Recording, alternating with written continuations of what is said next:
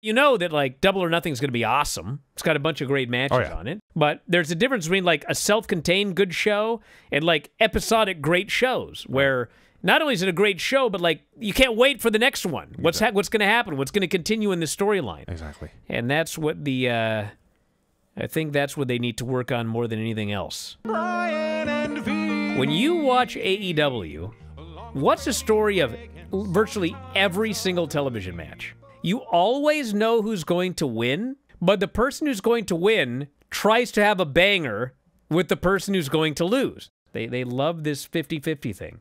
Tony loves guys going out and having great matches.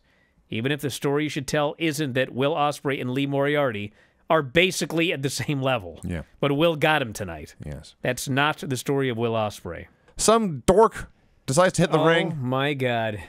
This fucking nerd decided that he was going to run and dive into the ring and he fucking did the shittiest dive, rolling dive into the ring you've ever seen. And then he pulled a Vince McMahon and tried to stand up and collapsed, probably tore both his quads. This fucking security guy wiped this dude out. He would have been better off standing on the train tracks hmm. than standing there and get run over by this guy. What an idiot. Is there a better name for a guy trying to work on dynamite than the Dynamite Kid? This guy looks Eerie. exactly like the Dynamite Kid. Yes. And I'm sure Dax probably watched a bunch of Dynamite Kid matches. And he decided we're going to do Bret Hart versus the Dynamite Kid tonight. Adam Copeland versus Kyle O'Reilly. This was so great. And I bring up again when he wanted out of the Judgment Day because he didn't want to do Hocus Pocus. They removed him, and then they never did Hocus Pocus with the Judgment Day. And now here he is doing Hocus Pocus with Malakai Black. Hey, the match was awesome.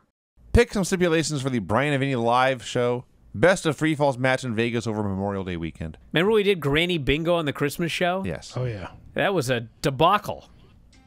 Ah. Sorry. Speaking of debacles, Musical chairs, two out of three falls. It's not a bad one. There's only two of us. Yeah, that one chair. it would be quick. You know, I'm going to get that YWF title. Are you now? Yeah, I I told you. It's right over there. You, you said you hadn't seen it in 20 years. I'm like, dude, it's right here. Whose dent? Whose head put a dent in this? Mine. Is it yours? Craig says it's his head. Craig does have a very large head. It would dent things. That's true. The New Japan TV title. YWF World Heavyweight Wrestling Championship. I forgot something last week, but it's for, for the best. Uh, It's a nice teaser. Can you tell us what it was? guess what's next? Soaps. He kidnapped somebody. No, he, he caught her. He didn't kidnap her. That is different somehow. Your Honor, it wasn't kidnapping. I just caught her. So what really happened is she kidnapped some people, and then he kidnapped her. No, he caught her. So he kidnapped her. Well, if you call it that, Well, I do call it that because you can't you can't just capture somebody Why not? uh, because that's not allowed. Brian, do you That have be to do kidnapping. that to everything? Boo. Other than Levi's, what were the cool name brand? Wrangler. Tough, jeans? tough skins. Jordache. You know what it says? It says guess. Yeah. Yeah. Yeah. Yeah. We did. We guessed. They're wrestling two fucking geeks. They win, obviously. And this fucking celebration these guys did. Oh, I mean, they're like Get a shot of me and Sean! Sean! Give me a high five, brother! Ah! Vinny, holy shit, we if you're fucking here, beat these nerds! Yeah! and they're going crazy! A live report from Dynamite. from beautiful Everett, Washington. We saw some friends, including one producer, Rob. Did see producer Rob. We did see producer Rob, didn't we? He walks into the the restroom. Don Okay. Callis was in the men's room. Okay. Rob walked into the men's room. Rob saw that he was at a urinal because he recognized his shiny shoes. You know, old Rob ended up right next to Don Callis, Amazing. the stall next to him. Amazing coincidence. Yeah. Yeah, I'm sure he said something to the effect of, Mr. Callis, you know, it's really nice to, uh. At which point Don Callis said, Fuck you! Fuck off! Get out of here! Excellent. What the fuck was this guy thinking? You thought you're gonna go strike one conversation with this guy after pissing all over yourself? Like, hey, Don, what's up? You wanna wash your want to wash hands together? What the fuck was he thinking was gonna happen? I was so disgusted when I heard this story. You can get like super frustrated about this booking or that booking or whatever, but the shows are always good because you have so many great wrestlers having good matches. The storylines don't really get you excited for the next show in an episodic way. But you know that like Double or Nothing is going to be awesome. It's got a bunch of great matches Oh, yeah. on it. But there's a difference between like a self-contained good show and like episodic great shows where not only is it a great show, but like you can't wait for the next one. What's ha- what's going to happen? What's going to continue in the storyline? Exactly. And that's what the uh, I think that's what they need to work on more than anything else. The Elite do a promo suggesting, which was later absolutely confirmed, Eddie Kingston will miss Double or Nothing. That sucks.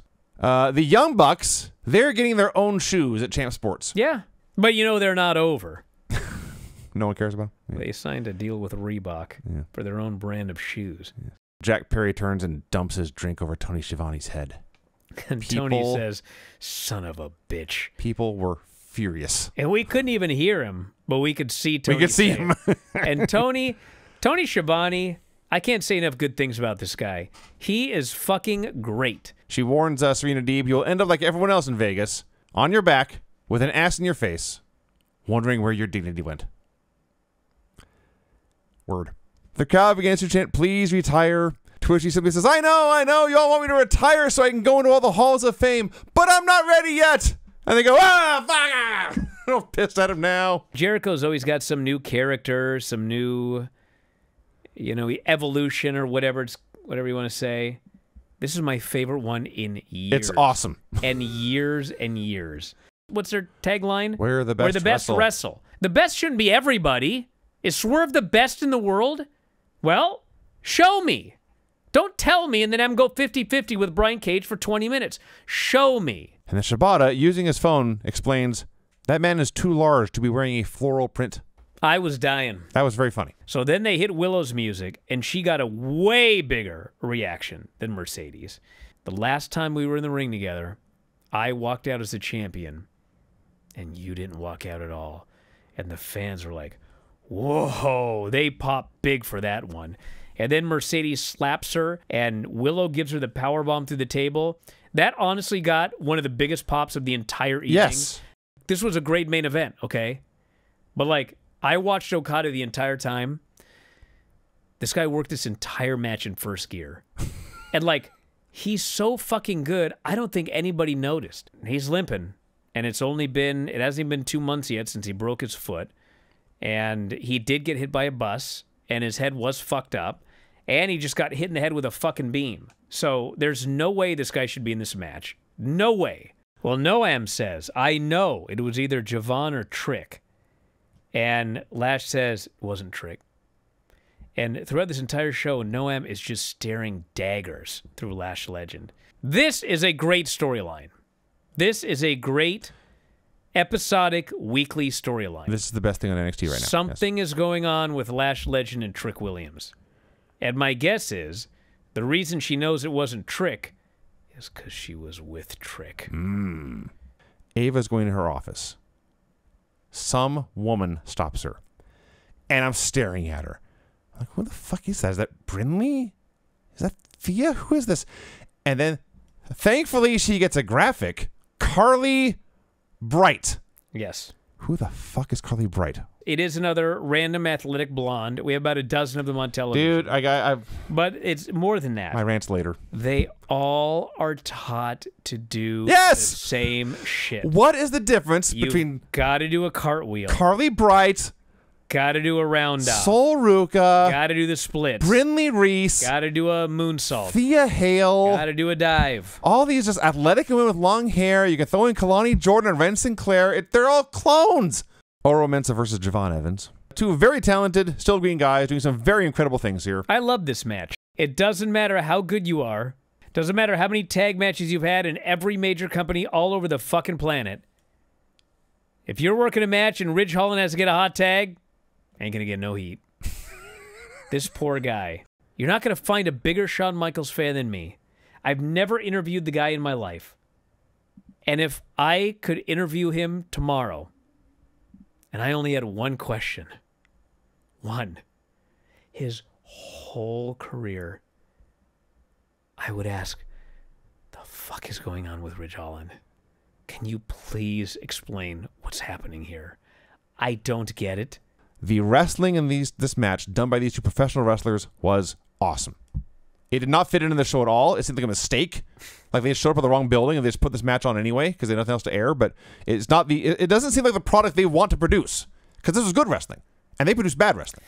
Rob is confirmed that he will be here in studio on Sunday. I, I can't believe Rob's stepping into the spotlight. He is coming into the studio on Sunday on the Bryan and Show live. He will answer these allegations of urinal gate live here in studio.